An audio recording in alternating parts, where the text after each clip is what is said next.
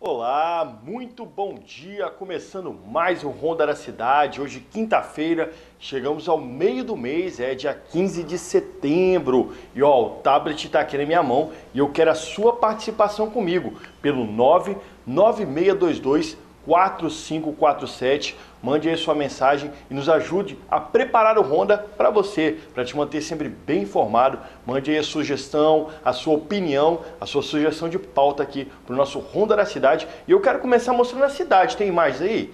Cidade bonita de Linhares, que completou, completou recentemente aí 222 anos, ó. Você está vendo ali o pessoal que vai para o sul do estado, saindo da ponte. Só que infelizmente nessa bela cidade, logo próximo ali, aconteceu uma coisa lamentável, um crime, né?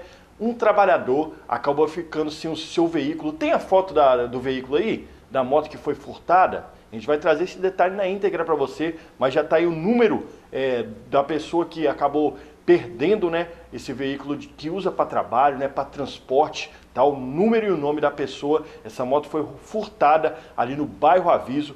Realmente, e isso aconteceu à luz do dia, às 9 horas da manhã. Eu vou trazer na íntegra daqui a pouquinho esse caso completo, tá? Você vai ver no programa de hoje também que o suspeito de ter cometido um homicídio lá em Aracruz, em Barra do Riacho, foi preso aqui em Ares pela PRF, né? Ele tentou fugir de ônibus, mas a polícia montou o cerco aí e conseguiu prender esse bandido. Hoje você vai ver também que, infelizmente, a nossa região aqui ela é marcada por casos de abuso sexual, por estupros também. E a Luana foi conversar com autoridades aqui para trazer esse destaque para vocês aqui também.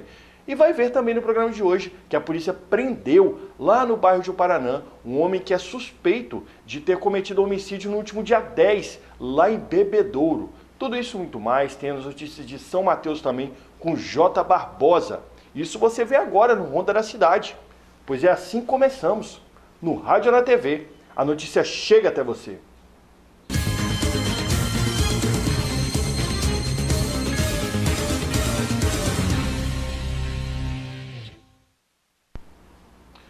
Começando agora o nosso Ronda da Cidade para trazer aqui os destaques policiais que aconteceram. Foi bem movimentado realmente na região. Tivemos dois homens presos lá no bairro de Paranã e um deles é suspeito de ter cometido o homicídio que aconteceu no último dia 10, no sábado, lá em Bebedouro, cometido à luz do dia. Vamos conferir agora esse e outros destaques no giro policial. Tá preparado aí? A polícia recebeu denúncia de que em um areal na Avenida Tomé de Souza, no bairro Interlagos, havia droga escondida. Chegando ao local, eles encontraram um tablete de maconha e uma balança de precisão. Durante a ação, um carro passou próximo ao local e levantou suspeita aos policiais militares, que decidiram o acompanhar. No bairro Araçá, o veículo recebeu então ordem de parada. Durante a abordagem, foi encontrado um revólver calibre 32 com seis munições. Os ocupantes do carro foram encaminhados junto com a arma à Delegacia Regional de Linhares. Durante um patrulhamento no bairro de Paranã, a Força Tática da Polícia Militar avistou dois indivíduos que tiveram um comportamento suspeito ao verem os policiais. Júlio César Augusto, de 19 anos, conhecido como Máscara, era foragido do sistema prisional. Já com Leomar Arcanjo dos Santos, de 28 anos, que foi outro abordado, nada foi encontrado. Porém, ao ser questionado pela polícia sobre o nervosismo na hora da abordagem, o suspeito confessou que estava guardando a arma de Júlio César em sua residência no distrito de Bebedouro. A polícia foi ao local e encontrou uma arma calibre 32. No local ainda, o suspeito apontou uma outra residência onde a polícia encontrou outras armas, duas espingardas, uma calibre 12 e outra calibre 32. Os dois homens e as armas foram entregues à delegacia de Linhares. Ao ser interrogado, Júlio César confessou que utilizou o revólver calibre 32 para assassinar Alex Rosa dos Santos, crime que aconteceu em Bebedouro no último sábado, dia 10. Após investigações, a Polícia Civil de Aracruz obteve a informação de que um autor de um homicídio estava saindo da cidade de ônibus. A Polícia Rodoviária Federal então fez o cerco e conseguiu identificar o veículo no quilômetro 152 da BR-101 em Linhares. Os policiais encontraram o suspeito dentro do ônibus. O homem alegou que matou a vítima após uma discussão banal. O assassinato foi cometido utilizando um pedaço de bloco e aconteceu no dia 13 de outubro de 2021, em Barra do Riacho, no município de Aracruz. Tá, e realmente a polícia tendo bastante trabalho aqui na nossa região, inclusive um suspeito de homicídio saindo de Aracruz para nossa cidade, mas a polícia conseguiu interceptar ele mesmo dentro do ônibus e conseguiu prendê-lo. E tivemos também né, esse preso aí por suspeito de homicídio, tirando também essas armas de circulação. Falando aí da criminalidade, uma moto foi roubada lá em frente ao SESI Linhares. Vocês estão vendo aí as imagens passando aí, ó. O suspeito está ali, ó, em cima da, é, próximo ao caminhão. Ele estava com o que parecia um cobertor nos braços, aí ele coloca o cobertor em cima do caminhão, tenta disfarçar por um tempo. Isso aconteceu, como você pode ver, às 9 da manhã. Isso aí, à luz do dia. O cliente deixou a moto ali, o capacete também está na, nessa moto. Ele tenta disfarçar por um bom tempo ali para ver se a pessoa não aparece. Ó. Agora você vendo a chegada dele né, no momento, né?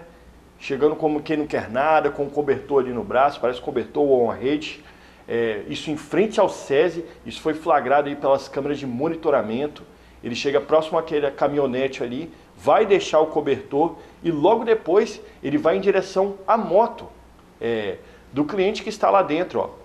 Ele pega a moto, pelo visto, acho que a moto é, estava com a chave na ignição, porque ele liga a moto numa facilidade incrível como se a moto realmente fosse dele. Vai manobrando para trás, ele quase cai no momento que ele sobe na moto ali para poder tirá-la, né? Sem, tentando não chamar a atenção, mas ele liga ela facilmente. Creio que a chave, eu acho que estava na, na ignição. E ele sai como se a moto fosse realmente um pertence dele, deixando um homem ali, é, um trabalhador, né, sem o seu veículo de transporte.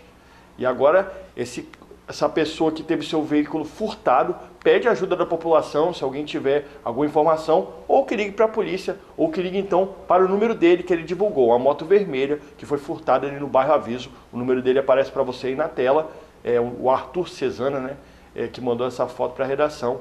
Então a gente espera realmente que essa moto seja recuperada. A gente fica triste, tantas pessoas trabalhando para conseguir alguma coisa na vida e simplesmente foi uma pessoa e toma.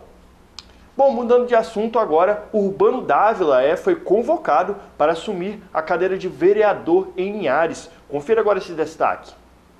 A partir da próxima segunda-feira, dia 19, a Câmara Municipal de Linhares terá um novo vereador é Urbano Dávila, do PTB, que passa a assumir a vaga de Valdeir de Freitas, do mesmo partido, que teve o mandato cassado na sessão ordinária da última segunda-feira, porque Valdeir descumpriu a legislação, faltando mais de um terço das sessões da Câmara.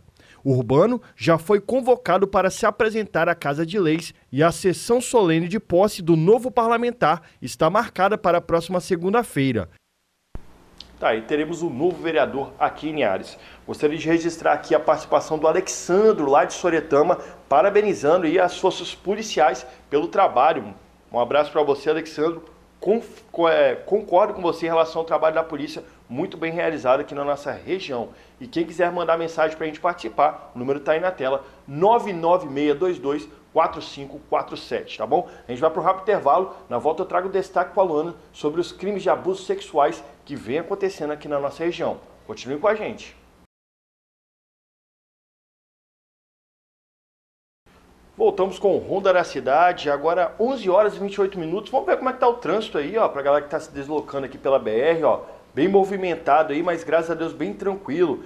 Mandar aqui um abraço para a galera do Segredo, nosso amigo Alan, capitão do time. Um abraço também para a avó dele, a avó Isaura. Um grande abraço aí para vocês. O Edinho Pimental também mandando mensagem aqui, ele que participa da Guarda Municipal, falando que eles estão atuando fortemente junto com a polícia aqui. E eu recebi uma mensagem aqui também de uma moradora da linha verde reclamando que no sábado eh, eles colocam um gelo baiano ali eh, na linha verde para poder que os carros não entrem, né? Mas aí os moradores que querem sair por ali com o carro fica difícil. Então eles querem uma solução da prefeitura, a gente vai entrar em contato com eles para trazer essa resposta para você, tá bom, minha amiga?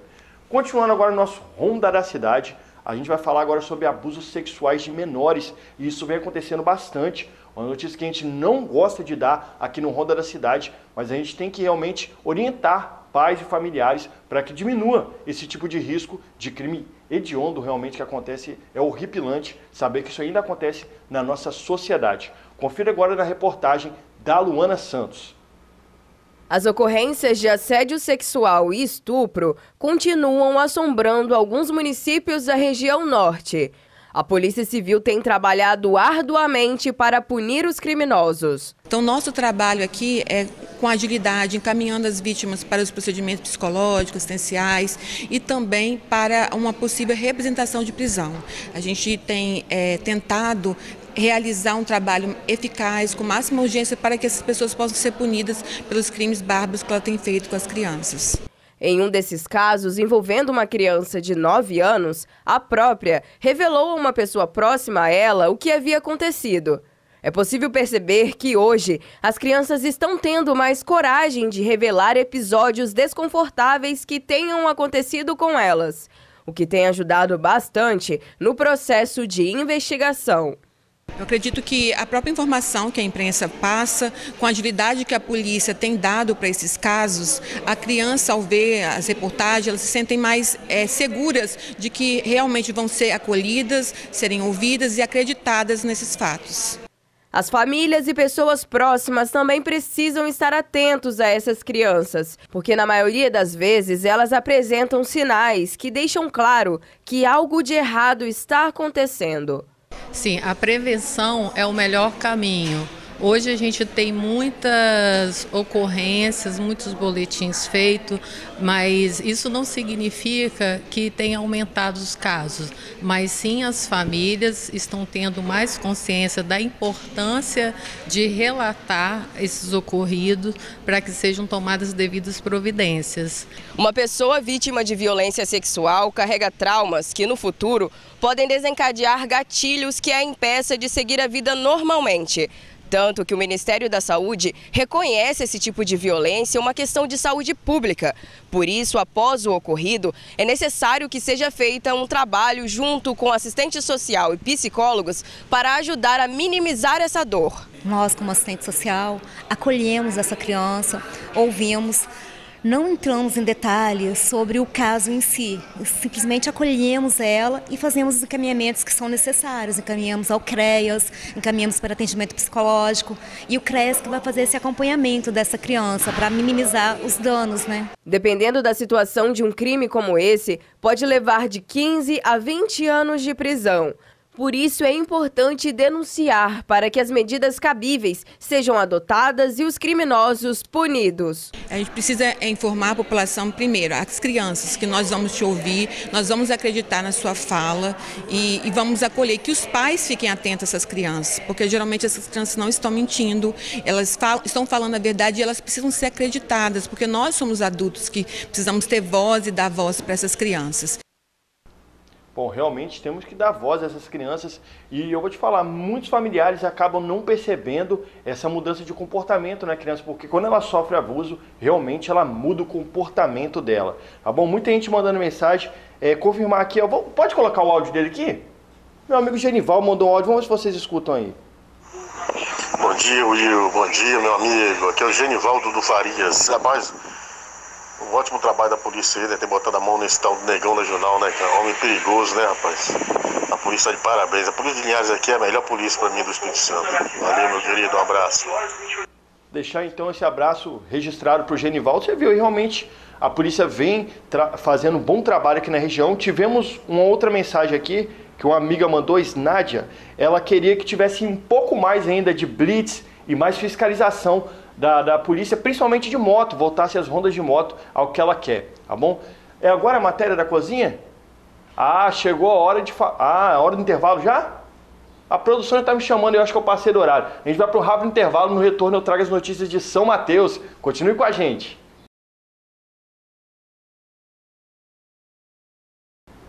Voltamos com o Ronda da Cidade, mas antes de chamar São Mateus, Tá na hora da gente falar das ofertas do Chaves, né? Para você que gosta de fazer um churrasco, hoje é a quinta da carne. Temos ofertas? Já tá na tela para você aí, ó. A picanha em isca saindo a R$ 34,99. Picanha bovina saindo a R$ 44,99. Alcatra bovina R$ 35,99. Tem mais? Tem sim, ó. Asa de frango saindo a 12,99 o quilo. A coxinha da asa também a 12,99 o quilo.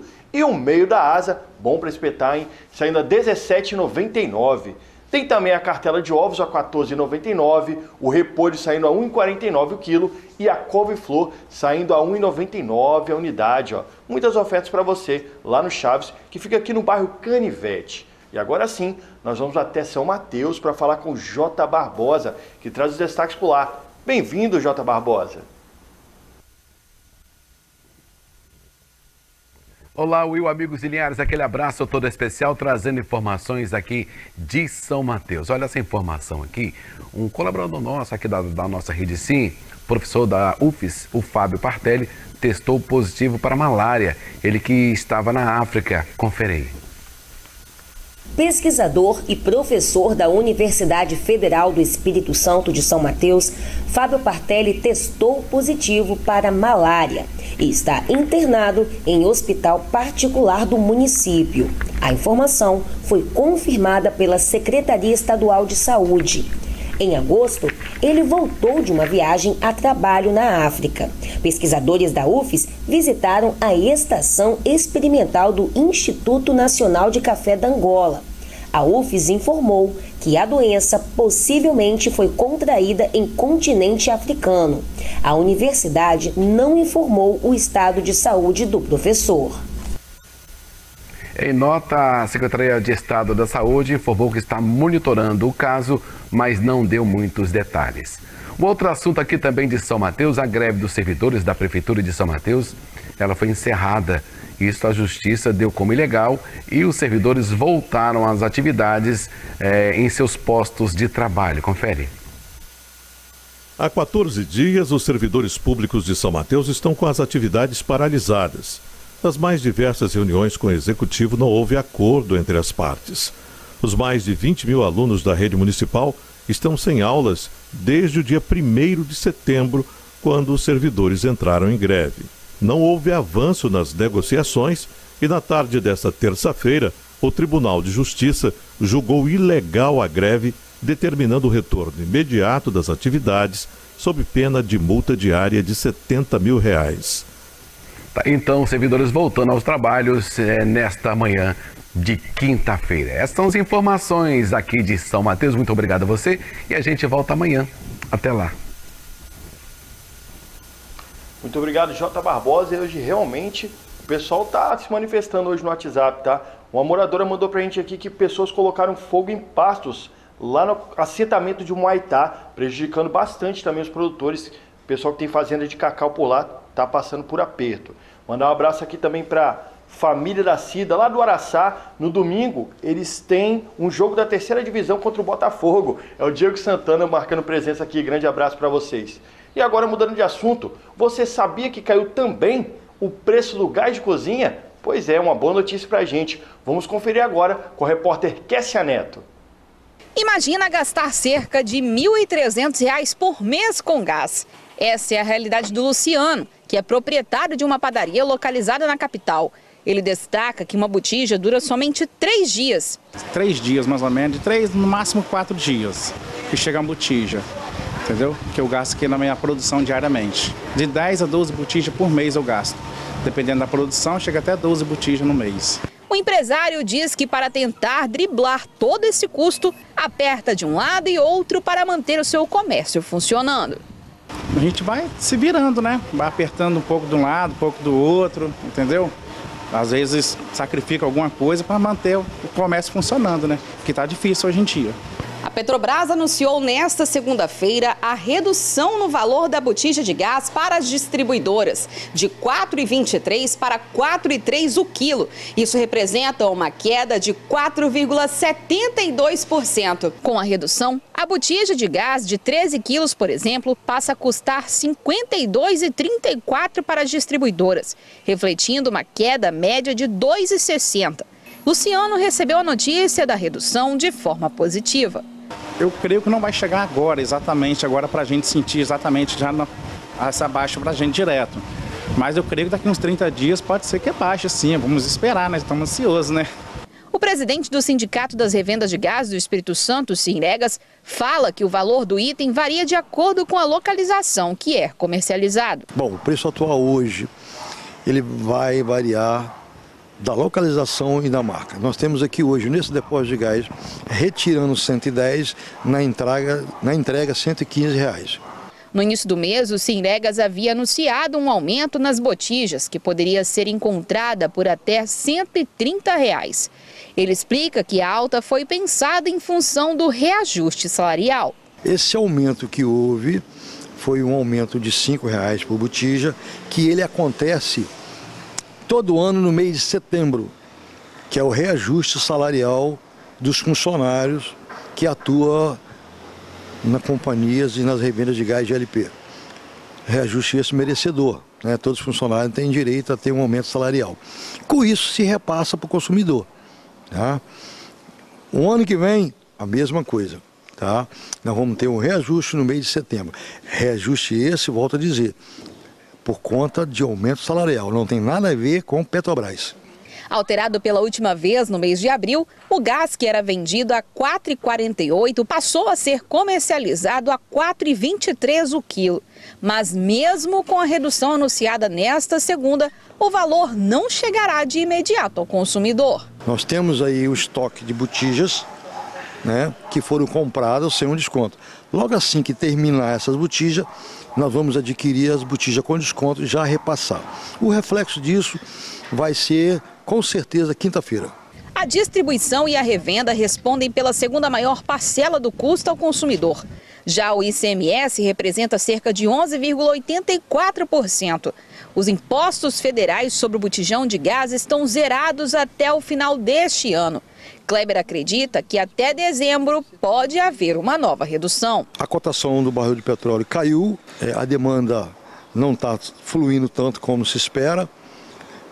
Então nós podemos ter aí um, mais uma redução no gás de LP de cozinha até no final do ano. Infelizmente é sempre assim. Na hora de subir, sobe na hora. Na hora de baixar o valor, sempre o estoque está lotado. Agora a gente vai para um rápido intervalo e eu volto com mais informações. Voltamos com o Ronda da Cidade. Deixar registrado, chegou muitas mensagens aqui cobrando uma solução para o campo do São Paulo Apóstolo lá, que está com vários refletores com defeitos, apagados e está tendo um torneio que acontece todo final de semana, que está sendo prejudicado por essa falta de iluminação. Então está aqui a cobrança deixada à prefeitura para que olhe com mais carinho ali para a comunidade do bairro Interlagos, que está utilizando esse campo aí, infelizmente, com essa falta de refletores. Bom, continuando nosso Ronda da Cidade, foram apresentados os resultados do, da economia do turismo capixaba, referentes ao segundo trimestre do ano. Confira agora com a repórter Juliana Morgado. Os dados do segundo trimestre do Boletim da Economia do Turismo do Espírito Santo, divulgados nesta quarta pelo Instituto Jones dos Santos Neves, apontam que o Estado se destaca acima da média nacional. Segundo o diretor de integração do Instituto, a publicação busca mensurar e monitorar indicadores ligados ao turismo capixaba. O Boletim da Economia do Turismo comprova que a economia capixaba vem apresentando um crescimento acima da média nacional. De fato, o turismo capixaba pocou no segundo trimestre de 2022 e apresentou o quarto melhor desempenho em volume de atividade turística, é, gerando emprego e renda para a população capixaba. O diretor falou ainda sobre as atividades que se destacaram. Desde a atividade é, de alojamentos, transporte, alimentação. Então, todos os setores que compõem as atividades características do turismo apresentaram um desempenho acima da média nacional aqui no território capixaba. Na oportunidade, também foi apresentado o resultado da pesquisa Identificação do Perfil do Turista e Excursionista, desenvolvida pela Secretaria de Estado de Turismo, com informações relativas à temporada de inverno no Espírito Santo. Ali a gente observou é, algumas demandas em regiões de interior de melhoria de mobilidade, especialmente de transporte por táxi, por carro de aplicativo, mas a gente também constata a avaliação muito positiva de serviços ofertados no turismo. Né? A pesquisa realizada pela Secretaria de Estado do Turismo, juntamente com o Instituto Jones dos Santos Neves, aponta que o perfil do turista que visita o Espírito Santo é na faixa de 20 a 40 anos. E entre os fatores decisivos para escolher o estado como destino estão os eventos e as belezas naturais. Principalmente atrás dos atrativos naturais né, dos, das praias, da, os mineiros vêm para as praias, em Guarapari principalmente, é, onde eles são a maioria, inclusive, dos turistas investigados, é, e também procuram as montanhas, procuram um friozinho na região das montanhas, nas Três Santas, é, e a gente dá destaque aí a três municípios, Conceição da Barra, Domingos Martins e Santa Maria de Jetibá, que no período da pesquisa tiveram eventos que foram capazes de gerar esse fluxo turístico. O diretor de integração destacou ainda as regiões com maior saldo positivo de empregos formais no Espírito Santo. A gente identificou aí um destaque para a região dos Pontões, que é polarizada ali pelo município de Colatina, é, e também na região metropolitana da Grande Vitória, com destaque para municípios como Vila Velha, que tem um atrativo turístico é, na região ali do litoral, Vitória, um atrativo com as atividades de eventos, né? Tá aí mais o destaque econômico aqui da nossa região. Bom, o nosso Ronda da Cidade vai ficando por aqui. Eu agradeço né, a sua audiência, a sua confiança né, no nosso jornalismo e também a participação no WhatsApp, que hoje foi em peso, tá? Eu volto amanhã com mais informações, tá bom? Fique com Deus, até amanhã. Rede Sim TV, essa é da Terra.